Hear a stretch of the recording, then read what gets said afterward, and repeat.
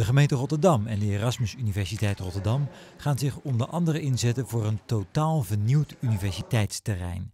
De nieuwe campus krijgt meer woonruimte voor internationale studenten, wordt groener en moet vooral veel gezelliger worden. Wat je hier ziet is een uh, bovenkant heet de plaza uh, met daarop uh, veel mensen.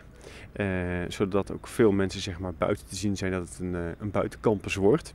Met hier in het, het, centrum van het plan een studentenpaviljoen. De nieuwe campus moet ook duurzaam worden. Want zowel de gemeente als de universiteit willen werken aan een duurzaam Rotterdam.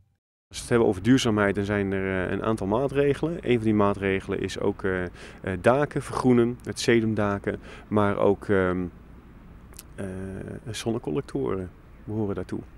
Maar daarnaast ook slimme installaties. Op dit moment gaan de gedachten uit naar een systeem wat onder de grond koude kan opslaan, wat je zeg maar in de zomer weer kan gebruiken voor koeling. De studenten moeten nog wel even wachten voordat het nieuwe universiteitsterrein klaar is. In 2018 uh, staat er een groot gedeelte van het plan en uh, kun je hier ook goed wonen en zijn er ook voorzieningen voor de bewoners.